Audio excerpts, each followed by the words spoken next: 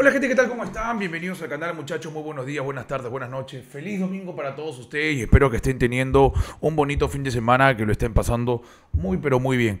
Venimos ahora para tratar de contarte eh, más sobre la información y más sobre el tema de Alianza Lima y sobre puntualmente dos jugadores que Alianza Lima estaría interesado para la próxima temporada. Dos jugadores, uno que probablemente bajó el nivel en esta última temporada cuando se fue a préstamo a Manucci y el otro que todavía sigue mostrando buen nivel y que aunque la gente piense que, el futuro de este señor podría estar en Argentina o en alguna otra liga de, Sudamérica, eh, Alianza va a intentar, hasta donde tengo entendido, hacer lo posible para poder tenerlo o regresarlo, porque eh, fue de Alianza Lima. Así que, sin más, antes de contarte sobre el tema de la información que te voy a hablar de cerca de estos jugadores, te voy a pedir que por favor te suscribas al canal. Estamos rumbo a los 40 mil suscriptores. Nos queda un mesecito para poder llegar, seguramente que llegamos. Así que suscríbete al canal, amigo mío. Deja tu like, toca la campana de notificaciones para llegar a más personas y ya vamos con el vídeo, amigo mío. No te olvides de los comentarios al final del vídeo, ¿ok? Bueno, Alianza Lima está interesado en dos jugadores. En realidad, por, por tres, pero el, otro es un poquito más complicado porque todavía tiene contrato y es un contrato contra un equipo con el, cual seguimos eh, luchando, ¿no? Y, la verdad que digamos que lo veo un poquito más complicado eh, que se pueda dar, ¿ok? Bueno, bueno, vamos al lío. Alianza Lima está interesado en un jugador que ha sido o ha pertenecido a la eh, a la sub-23, por ejemplo, este año de Chemo del Solar. Eh, jugó de carrilero y también jugó de extremo por derecha en aquel entonces. Eh, pertenece todavía a su pase a Melgar y fue aprestado en esta temporada que no le fue tan bien como se esperaba, pero tiene mucho potencial al Carlos Amanucci. Es un jugador que para mí es interesante, tiene, maneja ambos perfiles, es diestro, pero tiene mucha potencia y la verdad que a la corta edad que tiene, porque tan solo tiene 23 años, en Alianza Lima creo que podría explotar y sobre todo ahora que vamos a volver a la línea de 4, particularmente para mí, eh, creo yo que sería un jugador bastante interesante eh, para poder traerlo. Eh, estoy hablando nada más y nada menos que del jugador que sonó para el año pasado, para que venga este año, perdóname, desde el año pasado, cuando tenía tan solo 22 años, y es nada más y nada menos que el señor Emilio Saba. Te pongo la foto del año pasado porque estuvo el año pasado allí. Bueno, Emilio Saba cuando jugaba en ADT de Tarma, bueno, fue de lo más sobresaliente de aquel equipo. Si bien es cierto, esta temporada en Manucci no ha tenido, por así llamarlo, la expectativa que, quizás él y quizás Melgar también hubiese querido, eh, porque claro, Carlos Amanucci se fue a la baja y obviamente él estuvo participando del equipo.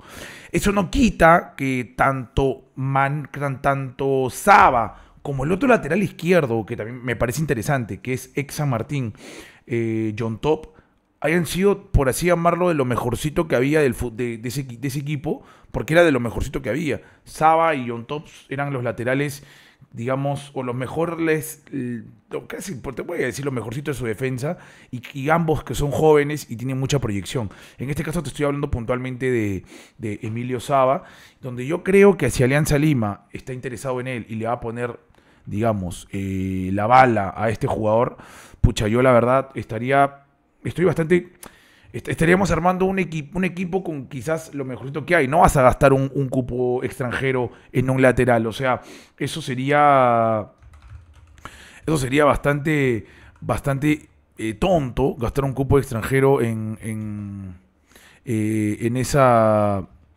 en ese, en, ese lado, ¿no? Entonces Alianza está pensando reforzarse con algún jugador del medio peruano. Recordemos también, recordemos también que eh, Alianza Lima también cuenta con Carlos Gómez y también cuenta con este Marco Guamán. Eso no quita, eso no quita que Alianza Lima no esté pensando en reforzarse esa zona. Se hablaba de que Carlos Gómez podría ser el lateral derecho titular de Alianza Lima por haber estado en Cruzeiro, por haber estado en el fútbol Brazuca, en la sub-18 y etcétera, etcétera, etcétera. Pero la información que yo manejo es que eh, Alianza Lima estaría intentando eh, mantener, o más o menos, no mantener, sino mantener en esa zona eh, con una, con una renovación. No sé si Carlos Gómez va, a jugar de titular ahora mismo con, con cómo se llama actualmente en, Alianza. No, lo dudo bastante, sinceramente. ¿ah? No, no, te voy a negar. Lo dudo bastante. Entonces, eh, como te volví a repetir, eh, Emilio Saba me parece un lateral derecho bastante interesante. Como te vuelvo a repetir, tuvo muchísimas participaciones en esta temporada. Eh, el equipo más lastimosamente no le fue bien. Pero para mí sería bastante interesante traerlo y que pueda luchar el puesto contra un Marco Guamán que prácticamente no va a tener a nadie competencia que no sea Carlos Gómez. Entonces, por ahí podríamos ver si es que eh, si es que lo, Alianza lo trae como para poder hacerlo competencia a un Marco Guamán, que creo yo que Marco Guamán es un jugador también bastante interesante que no ha podido o no supo aprovechar su oportunidad todavía. Falta todavía, tiene contrato con Alianza, así que hay que esperar. El otro jugador, que este sí te va te va a encantar porque es un jugador que este, el tipo eh, tiene cuatro temporadas ya jugando en la primera división. Salió de la cantera de Alianza, ya. Salió, bueno, de la cantera de Alianza, del LGB, de Alianza pasa al LGB, del LGB pasa a Melgar. Y bueno, Marco Valencia lo conoce como si fuese la palma de su mano. O sea, lo conoce muchísimo, ¿ok? Y, y es nada más y nada menos que un jugador que, al menos en el fútbol peruano, eh, ha tenido más que un promedio positivo. Ha jugado de interior por izquierda, también de extremo por izquierda. Es un jugador que ya sabe lo que es jugar Sudamericana, Libertadores. Eh, te digo nuevamente, o sea, yo la verdad es que no, particularmente para mí al menos, eh, con la edad que tiene, que 21 años nada más, y que es un poco más complicado porque tiene tiene propuestas en el extranjero, es nada más y nada menos que el señor Kenji Cabrera. Kenji Cabrera, que actualmente se encuentra en Belgar y que tiene una, un año más de, tiempo de, de, de, contrato. Kenji Cabrera, que es un jugador puta madre, me, me encanta, weón.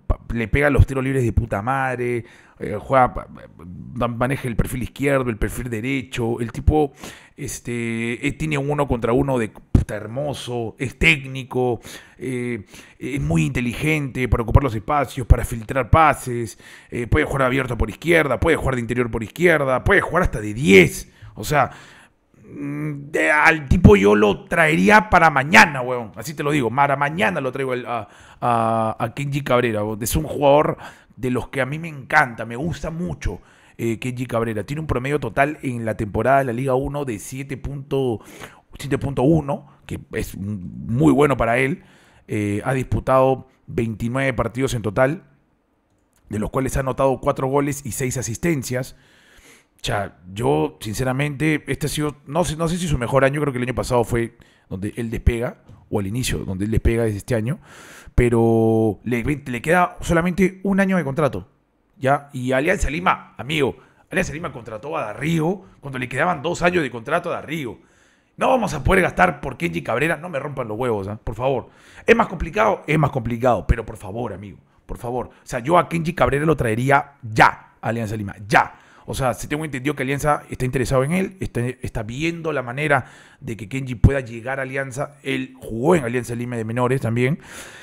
Y vamos a ver si es que se puede lograr eh, traer o repatriar a Kenji Cabrera. Pero lo cierto es que Kenji, creo que no, me, no hace falta más decirlo, Kenji ya la gente lo conoce. Esperemos que se logre cerrar el acuerdo entre Kenji Cabrera y Alianza. Y vemos también si es que eh, el señor Emilio Saba también puede llegar a Alianza Lima. Ahora, si no es Emilio Saba, también se están evaluando algunas opciones que es mantener a Guamán y Carlos Gómez, o la otra opción que yo la veo muy complicada era Jimar Lora, pero bueno, la podría pasar. En el fútbol pero no puede pasar. Pero Jimar Lora tiene contrato por una temporada más y está en Sporting Cristal y el tipo de Cristal no te lo van a soltar ni cagando. Así que pero de Melgar ya, ya tenemos el antecedente de haber de, traer a Archimbo. Ahora tenemos el antecedente también de haberlo comprado a Darrío. ¿Por qué no podríamos comprar a Kenji Cabrera?